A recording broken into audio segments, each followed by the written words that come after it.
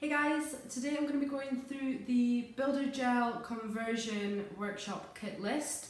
So this is everything that you're going to need if you're coming along to a conversion course. I'm so excited to be starting teaching these courses. They're online, so wherever you are, you can come on one of these courses. It is taught live via Zoom. It's four hours for £60. A real refresher of your natural nails, your health and safety, and um, your hygiene and your allergies, your allergies. Um, and then we go through your builder gel application on a natural nail and on a tip and on a sculpt as well. It's perfect if you are converting from another brand and you're wanting to try out a different brand's builder gel or if you're just wanting a little refresher in time for getting back to work, whenever that may be.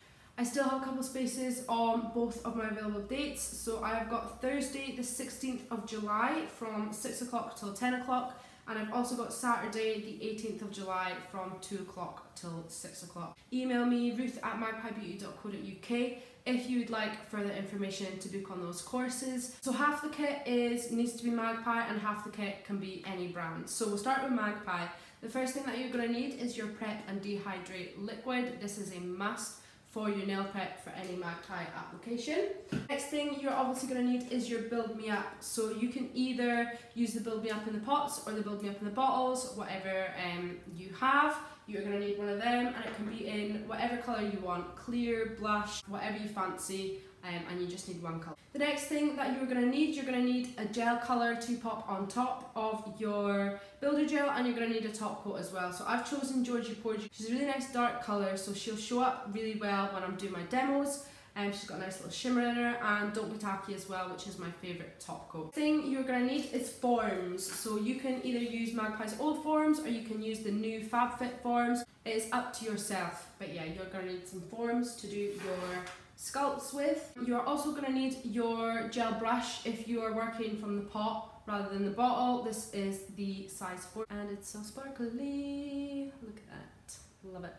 Um, and finally, some tips. You're going to need the Magpie tips and the Magpie glue if you're wanting to do um, a demo nail with tips. So that's everything that you need um, from Magpie. These bits you will probably have in your kit already. You're going to need some small scissors to customise your forms with your cuticle tool, your cuticle nipper, 40 grit file and a 180 grit file. Please make sure that they're files and not buffers. You're also going to need your nail brush, um, a duster brush, your tip cutters and some lint-free wipes as well. And that's all you need, so it's a really basic kit, um, it's nice and small, but everything that you need to get going with the Build Me Ups. Also released my July dates for nail art courses. We have got the online nail art courses available at three different levels, bronze, silver and gold. And they're online via Zoom, so you can jump on wherever you are. I've been having so much fun on the online courses. It's been so nice getting to get together with another group of techs and do some networking and get to know each other and have a laugh and not um, be thought that you're crazy for being obsessed with nails. So hope everyone is well and safe and thanks so much for watching and I'll hopefully see you in my next video. Bye!